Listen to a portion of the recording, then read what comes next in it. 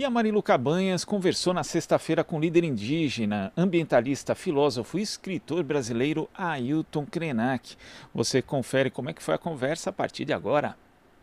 A juíza federal Ana Cristina Rocha Gonçalves, da 14ª Vara Federal de Minas Gerais, condenou a União, a UNAI e o governo do estado de Minas Gerais por violações dos direitos humanos e civis do povo indígena Krenak durante a ditadura militar. O povo Krenak vive na região do Vale do Rio Doce. Os indígenas foram expulsos de suas terras em 1972 e obrigados a viver confinados na Fazenda Guarani, em Carmésia, um local de propriedade da Polícia Militar que ficava longe de onde moravam, mais de 300 quilômetros de distância. Era um campo de concentração. Ali, os indígenas sofreram espancamentos, foram torturados, sofreram castigos físicos, inclusive as crianças também sofreram. Estupros também os indígenas uh, foram vítimas. Mais de 4 mil hectares dos indígenas foram tomados por poceiros. E a gente vai falar sobre esse assunto agora com o nosso convidado, que a gente tem a honra de recebê-lo, o líder indígena, ativista e escritor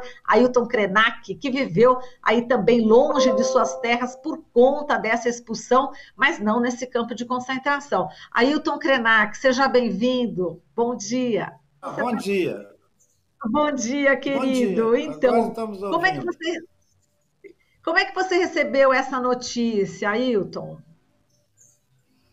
Nós ainda não recebemos essa notícia, na verdade, porque, como ela é uma decisão muito recente que essa juíza é, tomou atendendo a uma ação do Ministério Público, o que deve acontecer é que o Ministério Público deve é, fazer uma audiência com a aldeia, porque aqui é um coletivo, né? não são pessoas, não é um indivíduo que recebe uma notícia é muito interessante observar sobre isso, porque as comunidades indígenas elas são é, de direito comum, né? elas compartilham o território, compartilham esse direito, e notificar uma pessoa sobre essa decisão não tem muita importância. O que importa é informar esse coletivo, esses sobreviventes dessa experiência trágica que foi a ditadura, quais são as eh, reparações que o Estado brasileiro está sendo agora obrigado a direcionar para essas famílias. A gente podia estabelecer, inclusive, uma relação com o evento da lama da mineração que invadiu o nosso rio, deixou o nosso rio aqui plasmado de lama, tem mais de cinco anos, e não adianta falar com uma pessoa, nós precisamos restaurar o rio. Então, assim, não adianta também uma decisão que é notificada publicamente, mas que não repercute na prática. É, nós estamos com um rio sem água, estamos com o nosso povo ainda sendo penalizado por essa discriminação histórica, e é muito importante que tenha é, que seja dada consequência a essa decisão é, da juíza. Ele tem várias linhas de é, ação que implicaria compromissos do governo federal, do governo estadual, da própria FUNAI, e porque todos esses agentes públicos foram coparticipantes da violência contra o meu povo. E se nós fomos é, vítimas de uma violência que ficou oculta durante todo esse tempo e agora ela vem à tona, a gente precisa ter paciência e calma para entender o que vai se passar, né? Porque até hoje as pessoas sofrem né, com os estragos que foram feitos. Tem aí uh, um rasgo né, na alma. O aspecto psicológico também é muito importante ser visto, né, Krenak? É, porque o que acontece é que todas as pessoas, mesmo os que não sofreram no seu próprio corpo, experimentaram isso nos seus pais, nos seus avós, né? E é, geração, eu acho que algumas gerações depois, é, talvez isso possa diminuir o dano, mas ainda continua sendo razão de depressão e de uma certa desconfiança com relação ao futuro. Isso é muito ruim. Nenhuma pessoa precisa nascer e viver sem esperança no futuro. As pessoas devem receber o dom da vida como maravilha. A gente não pode ser oprimido por um poder público é, que é racista, que discrimina o povo indígena de uma maneira tão absurda. Né? Nós sabemos que tem violência para todo lado, mas essa violência dirigida a um povo para acabar com ele, levar ele para viver num, numa propriedade da polícia, como se a gente fosse, é, sei lá, nem humanos, né? porque não seria lugar para humano nenhum.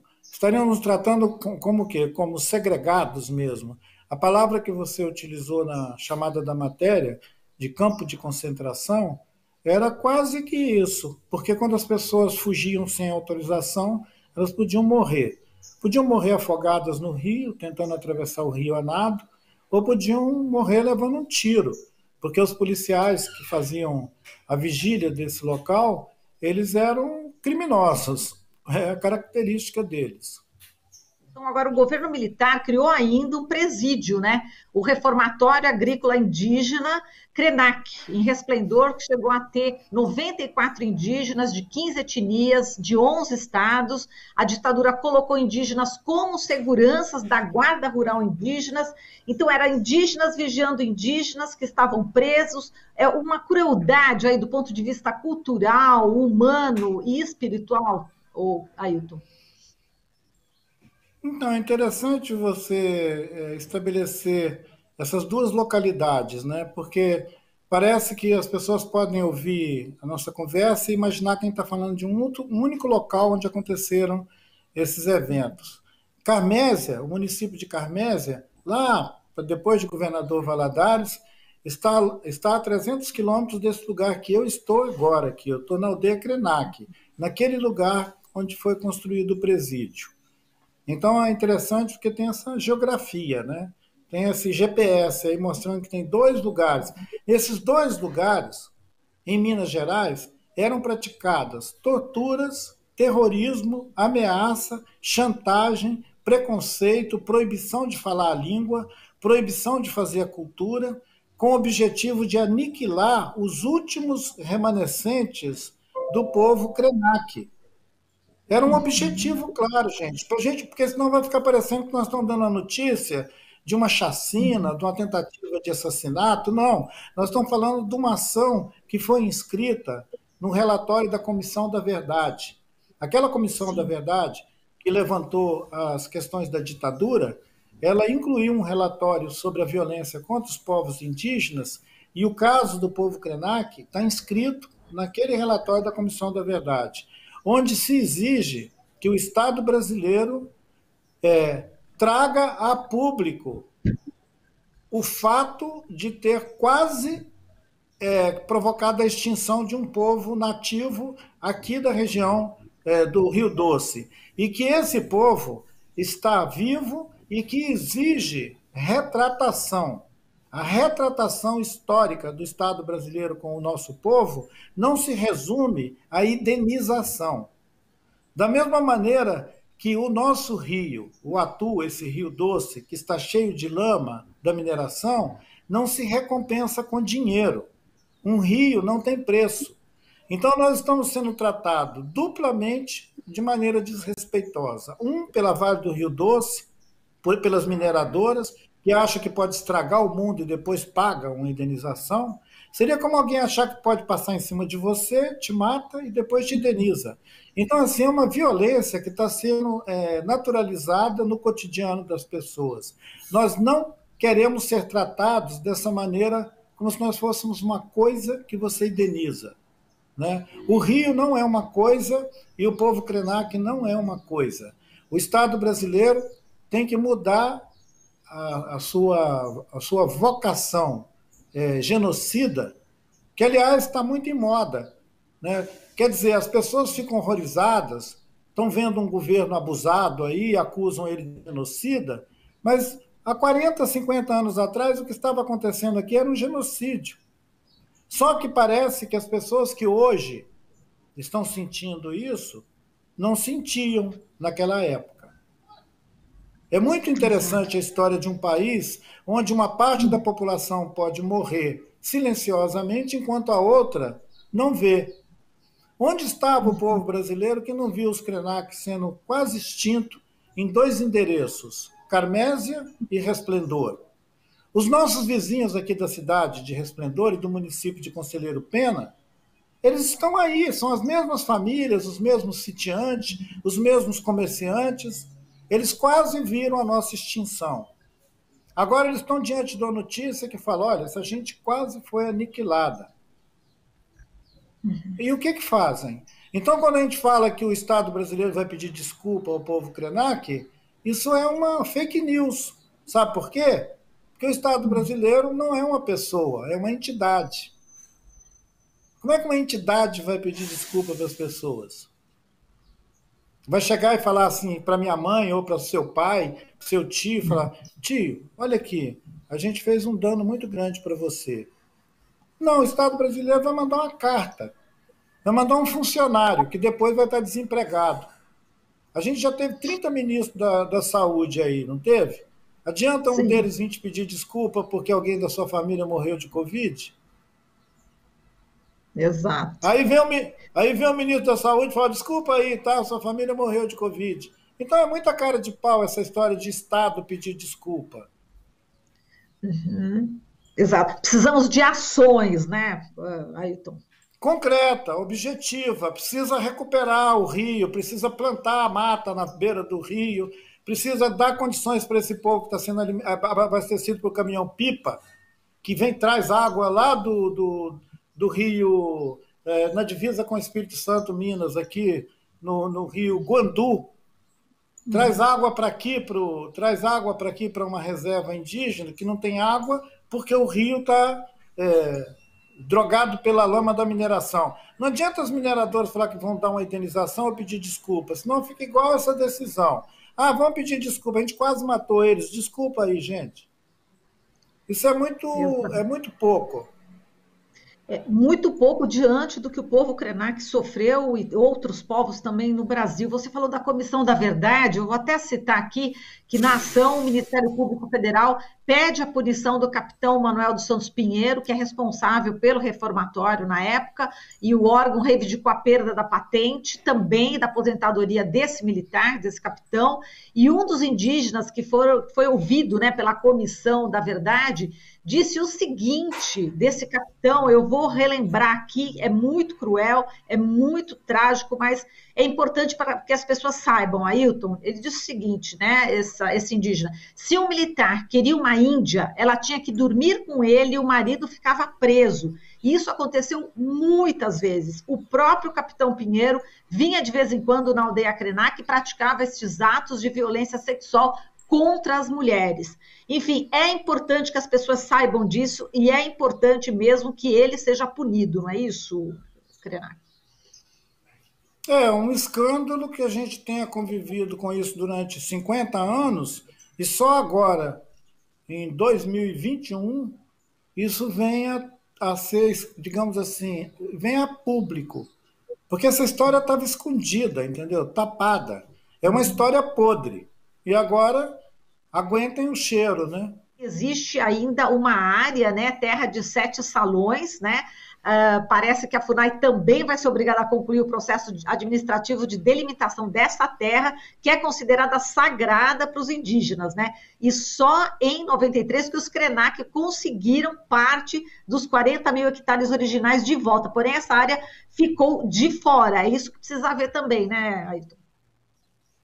Então, nós queremos saber o que o Ministério Público, na verdade, tenha notificado a agência indigenista, no caso a FUNAI, que não é nem a agência daqui regional, eles têm que comunicar isso a Brasília.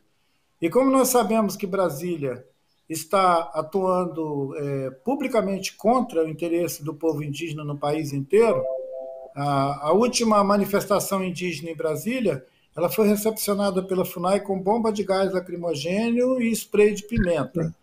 Então, assim, bala de borracha, essa coisa. Saiu gente lá para o posto de pronto-socorro. Então, é essa FUNAI que vai cuidar do, do interesse de reintegrar a terra aos, ao povo Krenak? A FUNAI, que inclusive está patrocinando esse negócio do marco temporal, que é para nunca demarcar mais nenhum centímetro de terra para os índios, então é muito contraditório. Se por um lado essa ação tramitou, acho que parece que seis anos, né, desde que o doutor uhum. Edmundo, que deu entrada a essa ação, é, anunciou isso, talvez já tenha seis anos, foi antes da lama da mineração. Né? E de lá para cá, muita lama passou debaixo da ponte, para contrariar o provérbio. Ao invés de ser muita água debaixo da ponte, passou muita lama debaixo da ponte. A FUNAI piorou muito. Eu quero ver como essa ação vai se fazer é, cumprir. Exato. Nesse governo né, obscurantista. Agora, aí. É, então, governo, um governo que faz, é, esse, o governo já disse que não vai demarcar nem um centímetro de terra para os índios. Eles repetem isso, os ministros Sim. todos. Então parece, parece uma ilusão a gente anunciar que ah, agora o Ministério Público decidiu. Tá, o Ministério Público decidiu e o governo vai obedecer. Exato. inclusive, a FUNAI, no caso do marco temporal e da questão da reintegração de posse do povo Shockland em Santa Catarina, a FUNAI, que tinha é, ficado antes, lá atrás, junto com o povo Shockland, agora exatamente está com o mesmo posicionamento não é, do governo federal e tirou total o corpo fora e como é que você também está vendo essa mobilização indígena linda, que levou milhares de indígenas, as mulheres, com a Marcha Nacional de Mulheres, enfim, no total, sei lá, 6 mil, mais de 6 mil indígenas. Como que você viu esse momento histórico, né? E a grande imprensa, às hum. vezes, não deu é, o valor, né? E também dessa mobilização. Você sentiu isso também? Eu estava ouvindo o Boff falando, o Leonardo Boff, ele estava lamentando. Parece que os índios passaram assim invisíveis por Brasília. Então, eu entendo essa observação do, do Leonardo Boff de que passaram invisíveis, mas, na verdade, nós somos invisíveis. Tem 500 anos que nós somos invisíveis. É, a gente estava conversando agora há pouco sobre o fato de dois, duas localidades em Minas Gerais matar e torturar os índios e ninguém vê. Então, não é da agora que a gente está invisível. A gente sempre foi invisível. E reclamar que a grande mídia não mostra também é uma ilusão. Porque a grande mídia é ela que oculta. A grande mídia não existe para mostrar nada, ela existe para ocultar. E é importante a gente pensar nisso. As pessoas que estiverem nos ouvindo, né, pessoas, vamos considerar que existe um tipo de humanidade, um tipo de pessoas que a gente chama de as pessoas comuns, que não são esses que vivem criando armadilhas. As pessoas comuns têm que entender que a grande imprensa, ela mente o tempo todo. Porque ela é Exato a, ela é a representante do capital, gente, é o capitalismo. Foram elas que configuraram uma coisa chamada fake news, que é aquela manipulação da verdade. Você finge que é verdade, mas na verdade é uma mentira. É mais ou menos o seguinte: os índios Krenak ganharam uma ação. Aí todo mundo fica olhando e fala: Nossa, viva os índios Krenak. Aí os índios Krenak ficam olhando. Daqui a 500 anos, o que aconteceu? Não, eles são invisíveis. Está acontecendo alguma coisa? Também não. É, a vida não é útil. Que você lançou, inclusive, no ano passado, é, revelando aí que a nossa cultura dificulta a, a concepção de uma vida que não tem o trabalho como a razão principal da existência, né? É, queria que você falasse um pouco desse livro e também ideias para adiar o fim do mundo. Eu sei que a gente já está no finalzinho, mas a gente não vai deixar de falar dessas suas obras aqui que inspiram tanto a gente. Bom, obrigado por mencionar esses dois livrinhos, né? O, o Ideias para Adiar o Fim do Mundo. Ele foi lançado em 2018. Eu fico impressionado que ele esteja ainda é, sendo reimpresso e já foi traduzido é, em vários, várias línguas além do português, né? Ele foi traduzido na Holanda, na França, Itália. E o A Vida Não É Útil, eu escrevi durante a pandemia, porque eu vi que as pessoas estavam jogando a vida fora de uma maneira tão é, absurda que eu decidi provocar uma reflexão sobre a ideia de utilidade. Porque as pessoas diziam: ah, cadê o novo normal? Cadê o novo normal? Quando é que a gente vai voltar? E eu me perguntava: voltar para quê? Será que antes estava tão bom assim? A gente estava vivendo uma experiência trágica de milhares de desempregados, das pessoas batalhando para sobreviver, o clima do planeta é, sendo alterado de uma maneira é, vista, global, toda a desestruturação da vida, digamos assim, da, da, da natureza, aí as pessoas tiveram que parar, alguns disseram, nossa, o céu está bonito, as águas dos rios agora estão mais claras, voltou a ter peixe, Aí as pessoas, ah, vamos voltar ao normal. Vamos voltar ao normal para a gente tudo de novo, estragar tudo de novo, fazer uma bagunça de novo, que é isso que as pessoas chamam de novo normal. Então, a vida não é útil, é uma provocação num momento de crise para as pessoas pensarem se a gente consegue melhorar ou se a gente vai pisar fundo no acelerador e piorar cada vez mais. Se você falou agora pisar fundo, eu vou terminar aqui com uma coisa que você falou, uma frase assim bem, uma síntese, né, que você falou aqui é, no Pisar Suavemente na Terra, que é um documentário do Marcos Colom, né, que você participa, é, falando da exploração de minério que produz guerra e não vida, e que o futuro é ancestral. O que, que os nossos antepassados nos ensinam, né? É, o futuro é ancestral. A resposta está lá atrás, né, Ailton? É, quando nós lembramos de tudo que os nossos antepassados é, nos legaram, nos ensinaram, a gente entende que nós temos um grande livro e a gente pode continuar aprendendo com ele. Essa ânsia de o novo, o novo, o novo amanhã, o novo qualquer coisa, o novo normal, isso é uma ansiedade. Se as pessoas respirarem fundo, né, respirar, inspirar, isso passa. Perfeito. Tá certo, Ailton. Olha, eu agradeço muito aqui a sua participação. Um forte abraço para você, mesmo virtual, e espero um dia conhecê-lo pessoalmente e te abraçar e sentir toda essa sua energia tão positiva, tão maravilhosa. Fala uma palavrinha só para fechar em Krenak aí para gente. A palavra em Krenak que eu mais gosto de pronunciar é ereré. Ereré. O que significa? Ereré pode ser a saudação que você dá de manhã para alguém, como agora de manhã nós estamos nos encontrando, e é também uma qualidade de você dizer que foi bom. Então, esse nosso encontro, eu te agradeço. Eu fiquei o tempo inteiro vendo o carinho com que você me acolheu no programa, me chamando pelo nome. Eu quero te agradecer o acolhimento ah. e o carinho. Ereré, bom dia.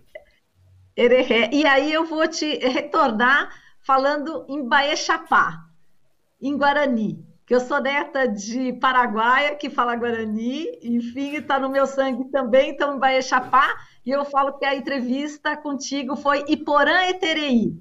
Iporã Etereí, você, você já sabe, né? Claro, Iporã claro que sim. Que é, que é bonito, Conv... que é lindo. Conv... Convivo com os parentes Guarani, gosto muito da língua Guarani.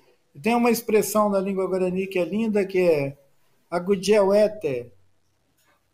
Agudiauete, é, que é uma saudação que ao mesmo tempo agradece e também abençoa. É uma bênção para as pessoas. É maravilhoso.